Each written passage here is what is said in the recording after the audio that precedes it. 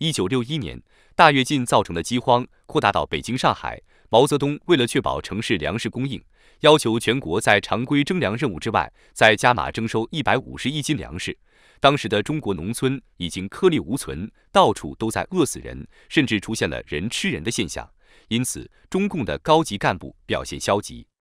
毛泽东觉得有必要给这些情绪沮丧的干部们上上课，就要求省市县各级干部到北京来开会，这就是所谓的七千人大会。毛泽东希望借此大会统一全党思想，继续暴力征粮。但是大会上人们的情绪失控，各级干部纷纷批评中央乱搞，矛头实质指向毛泽东，甚至有干部在人民大会堂的走廊上贴出了打倒毛泽东的口号。毛泽东看见自己在党内人心尽失，会上被迫做了自我批评，并在会后退居二线，由刘少奇主持经济工作。